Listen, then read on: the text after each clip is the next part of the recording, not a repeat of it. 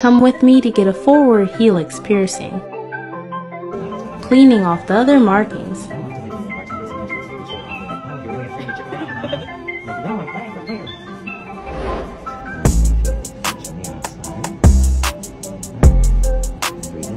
This was an easy piercing. Pain was a 0 out of 10 for me. Little pressure here, but nothing painful.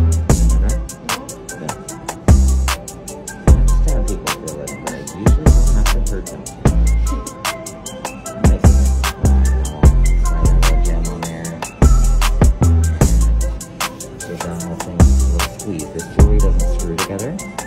Squeeze it and it clicks together. And if we need to get it out, we just pull it. So it's a little easier to do on. Super cute.